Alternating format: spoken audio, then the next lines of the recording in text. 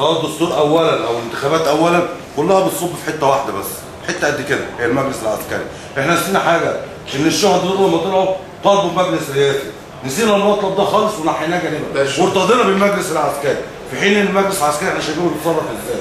كلنا عمالين ندور على طلبات جانبية. الشعب إيه الطلب الاساسي هو المجلس العسكري تحت ويجي مجلس رئاسي. هو اللي هيحل كل المشاكل دي. يجي مجلس رئاسي إحنا اللي نختاره. مش مجلس عسكري. ما زال ماشي على النظام القديم وبيطبق سياساته القديمة. وبيلعب بينا. شوية يدينا حتة من نقطة من القطاره وشوية يمنع عننا القطاره لا المجلس العسكري لازم يتنحى فورا. يبقى نطلع يوم الجمعة كلنا عشان المجلس العسكري يتنحى. نركز في طلب واحد بس مش نقول محكمه غد والدستور اولا والمحاكمات والقضاء والشرطة. ونشتت طلباتنا ويبقى كل مجموعة بطلب. ولو أنا متشتتين كده وفي الآخر نمسك بعض. لا يا فزه نطلع كلنا في طلب واحد.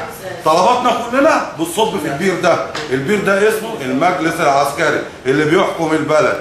لازم يتشال المجلس العسكري. لازم يجي مجلس رئاسي لازم ده يبقى هو مطلبنا الاساسي والرئيسي وبعد كده. لا. الجيش عمره ما هينقلب على الشعب يا جماعة.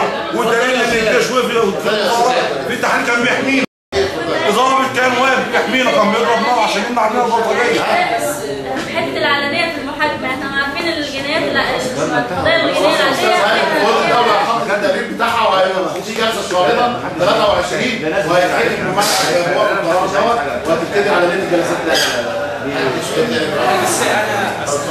في المحكمة الإدارية